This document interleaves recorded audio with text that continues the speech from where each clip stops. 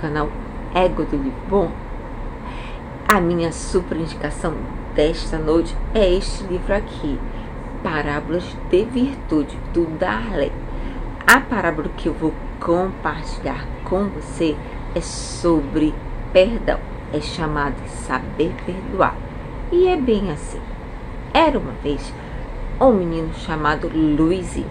Ele chegou aborrecido da escola jogou a sua mochila no chão, foi até o quarto e bateu a porta. Sua mãe, que estava na cozinha, foi até ele e perguntou o que tinha acontecido.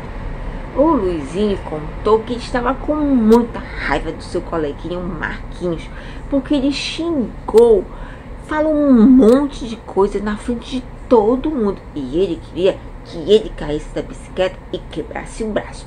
Sua mãe escutando com todo carinho, pegou o Luizinho pelos braços e levou até a garagem. Lá pegou uma saca de carvão e disse para o filho: Filho, vamos até o quintal.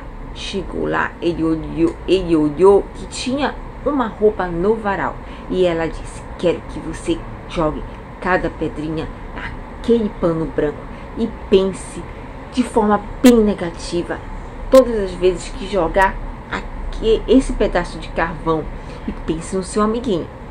Ele achou uma ótima ideia. Ah, vou jogar esses pedaços de carvão nele. Ele vai ver só.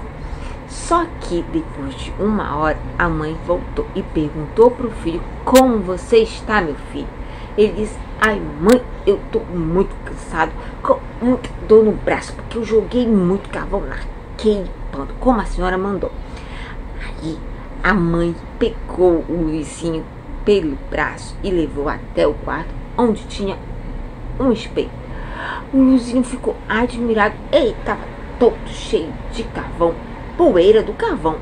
A mãe disse: aquele pano estava branco, mas você está pior. Sabe o que significa isso?